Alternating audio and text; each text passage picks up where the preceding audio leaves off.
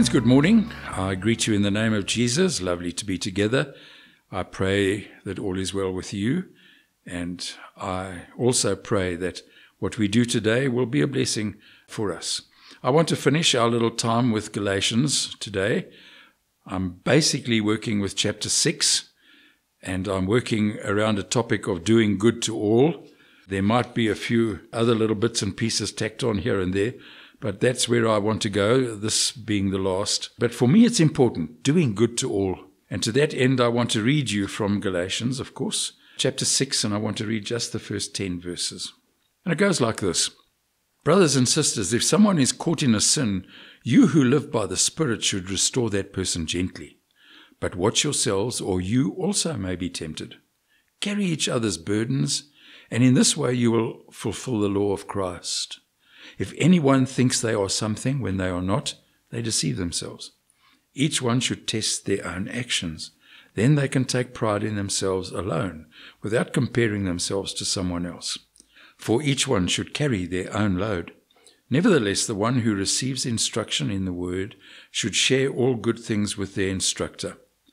Do not be deceived. God cannot be mocked. A man reaps what he sows. Whoever sows to please their flesh, from the flesh will reap destruction. Whoever sows to please the Spirit, from the Spirit will reap eternal life. Let us not become weary of doing good, for at the proper time we will reap a harvest if we do not give up. Therefore, as we have opportunity, let us do good to all people, especially to those who belong to the family of believers. Doing good to all in a sense, what we're reading here in verse 1, he's really saying we must take responsibility for our fellow believers in the church. When they fall, we should first try to restore them and not rebuke them. And that's almost counterintuitive for many people. Uh, when people stumble, sometimes we tend to rejoice. and in a sense, Paul is saying to the Galatians, when people fall, try and restore them and not rebuke them.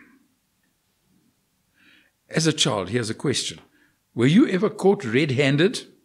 Whatever it was that you were doing? What happened when you got caught red handed? Probably there was a certain amount of, of punishment attached to that. But in the same sort of context, do we rejoice when people are caught out? Or should we restore them humbly? And that's a curly question because our instinct, I think, as human beings is to rejoice when people get caught short. And in a sense, what Paul is writing here is should we not restore people who stumble? Should we not restore them humbly?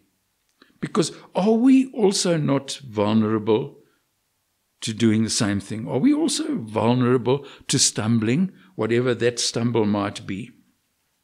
In 1 Corinthians chapter 10 and verse 12, Paul writes, There but for the grace of God go I.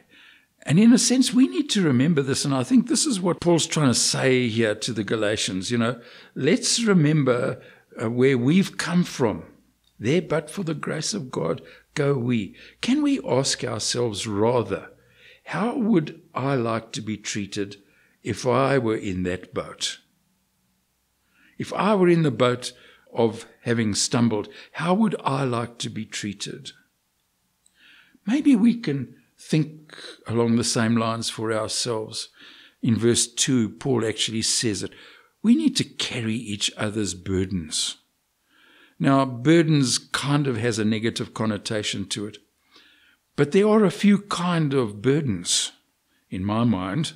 We can think in terms of work and responsibility we can think in terms of anxiety as a burden, disappointment as a burden, sadness, sickness. And is sin maybe also a burden? Do we stop to think sometimes that maybe sin is also a burden? Think of a temper. Some people have fairly violent tempers is that a sin? We have to be careful about carrying one another's burdens because in the end, I think what Paul is calling us to is forgiveness. Can we be a forgiving people? Can we be prepared to forgive before we criticize? Because inevitably it's easy to criticize. Forgiveness is a little bit more difficult. So, how are we forgiving? Can we love one another? Could this be carrying one another's burdens? Simply walking alongside somebody who's carrying a burden. Verses 3 and 4, in a sense, says, let's just look at our own actions and our own situations. Do we fall into the trap of feeling we are better than others?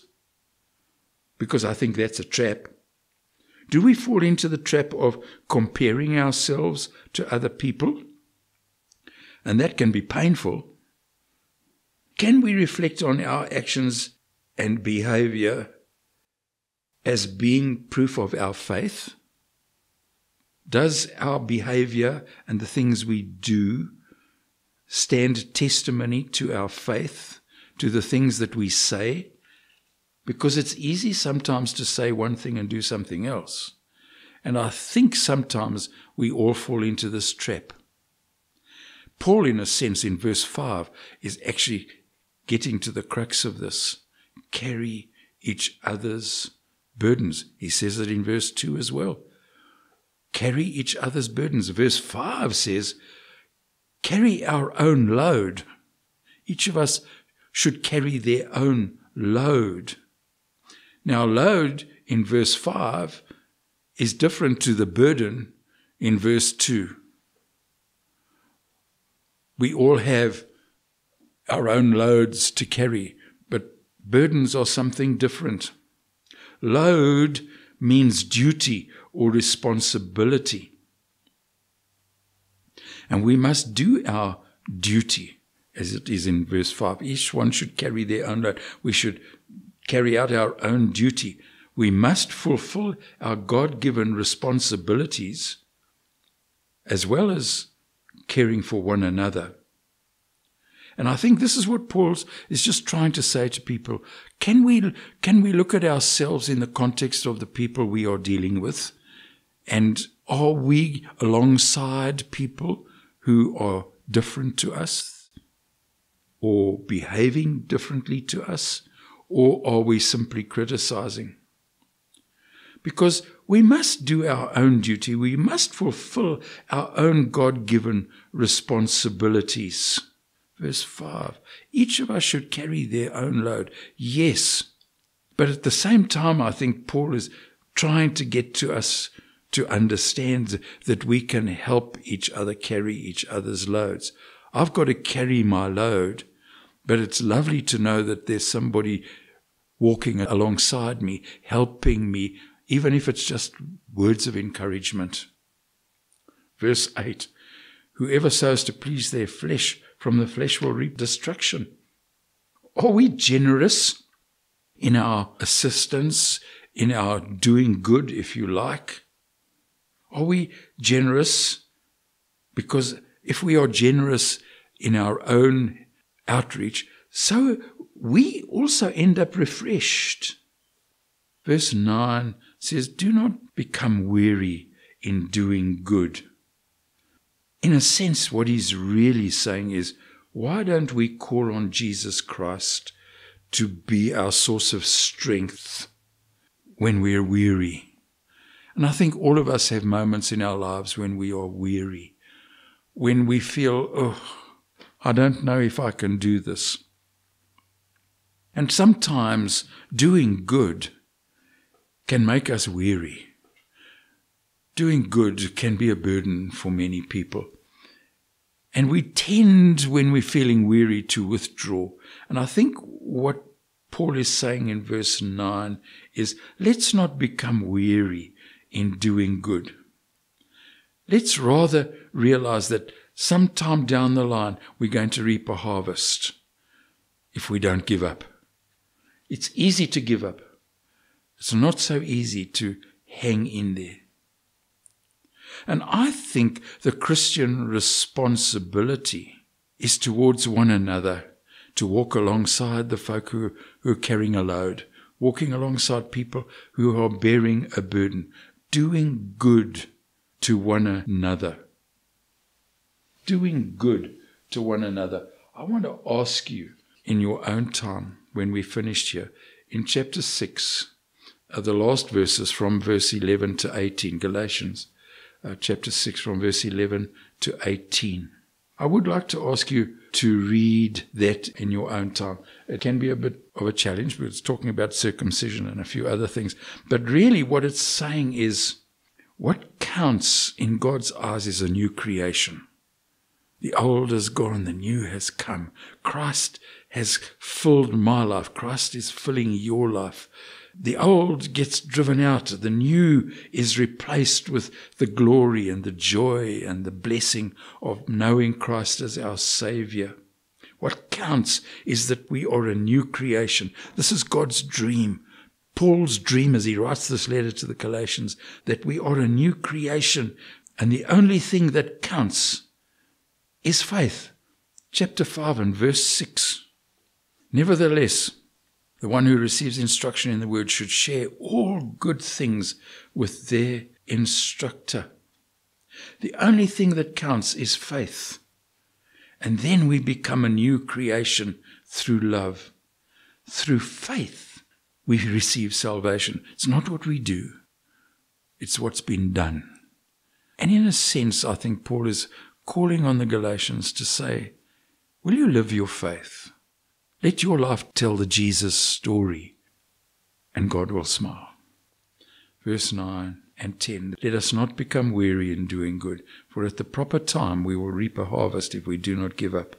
Therefore, as we have opportunity, let us do good to all people, especially to those who belong to the family of believers. What great words! What great words for me to leave you with this morning, my friends. Let's pray.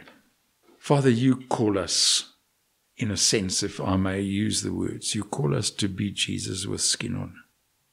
You're calling your people, us, to just live lives that tell your story. And the only way we can tell your story is to reach out to one another in love, to help, to pick up, to challenge, to heal, to pray, to carry. All of this because you loved us first. And we love you, Lord, and we want to just serve you as best we can. Thank you uh, for the time uh, that we've shared today, just under the title, Doing Good to All People. May it be that we can take this back into our day today, O Lord, and into the week that lies ahead. We pray this in Jesus' name. Amen. God bless you, friends, and have a, have a great day today, will you?